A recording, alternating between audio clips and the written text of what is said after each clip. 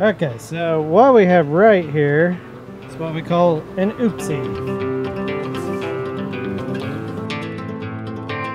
We, we said the walls were going to go up this week. I mean, it's up. What more do you want? Attached?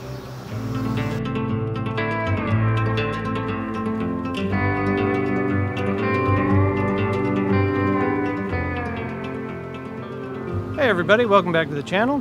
You're new here, we're working on a renovation on a 1956 Calcraft. Um, this week we posted a short video that showed how we raised our Harbor Freight car canopy up a little bit. So if you're uh, interested in seeing how we added these little leg extensions, go ahead and uh, click back and watch that. But otherwise, we're going to try to do a little work on the walls and try to get them on this deck this week. But the first step there is going to be filling some nail holes with our handy dandy wood filler here. We're going to fill those nail holes, we're going to give it a sand, and at this point I'm still thinking I'm going to put at least a couple of coats of the polycrylic on the walls just to uh, kind of minimize some of the work I have to do later. First step is going to be moving this camper, camper, what will be the camper, move this a little out of the way so I can uh, set some sawhorses up and lay the wall down on it under here where we have some nice shade because it's another warm one, folks. Hey Google, what's the heat index like? Right now in Wichita, the heat index is 106. That's great. Thanks, Google. That's what I'm here for.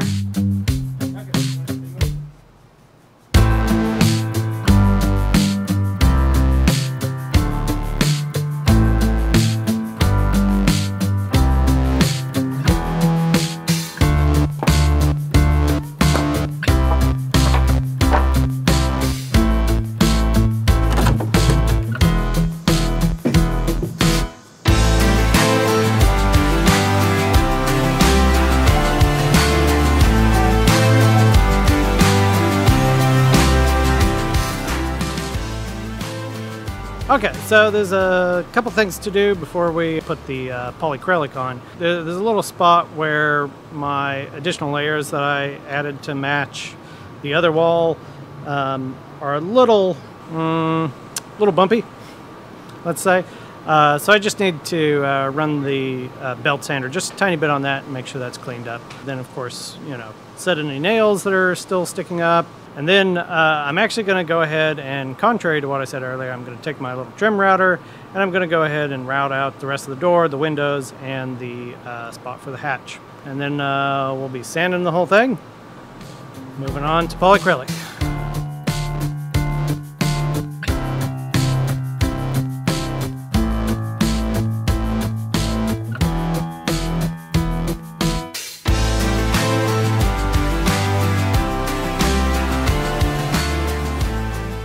Okay, so what we have right here is what we call an oopsie.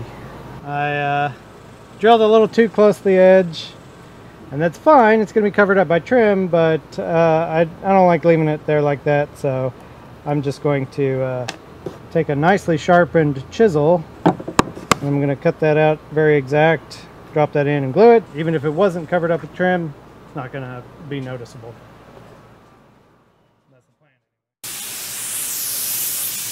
I've always thought it's a good idea when you're doing uh, wood putty to go ahead and uh, run the air compressor or some kind of compressed air over the surface, make sure all the nail holes have sawdust blown out of them so you can see where they are.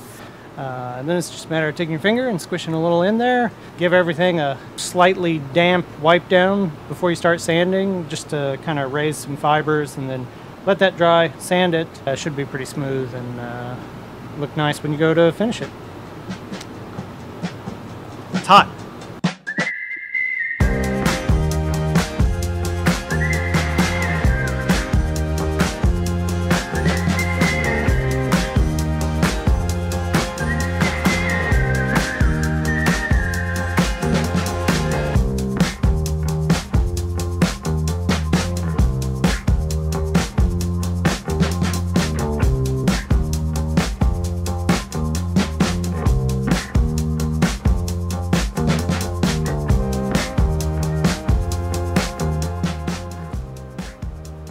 All right, well, that's uh, three coats on there, and you know, I think it looks great.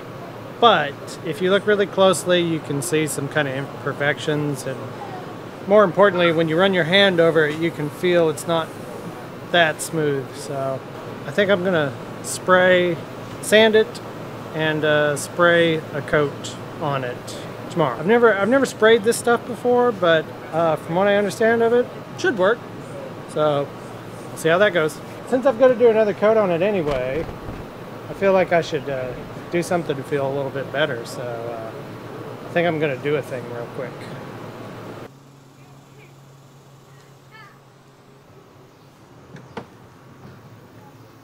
We, we said the walls were going to go up this week. I mean, it's up. What more do you want? Attached?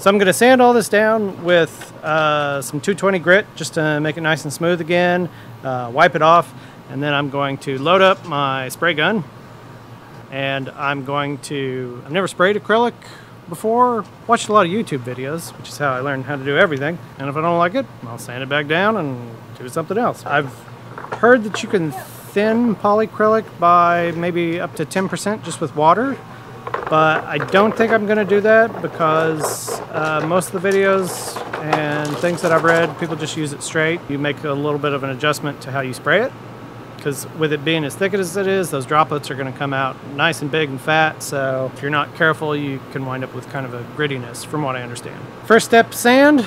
Next step, wipe. Third step, spray.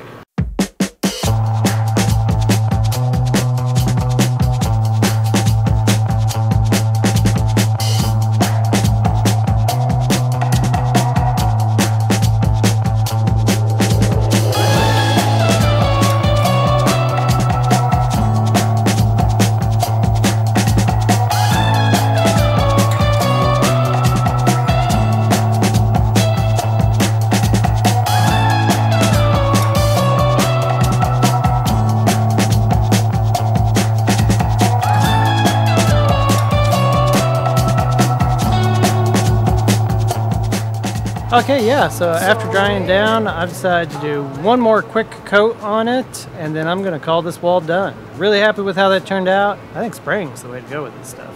So I'm gonna go change back into my painting clothes and uh, get to work.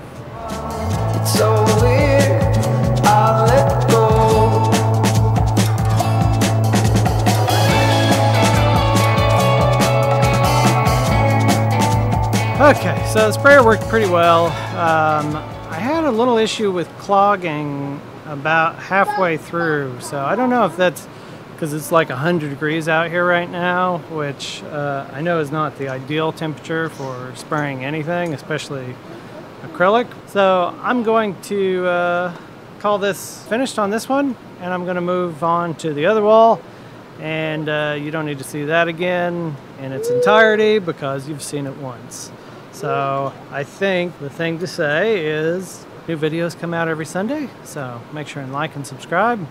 And we'll see you next week. Cue up the music. Do a time lapse montage here.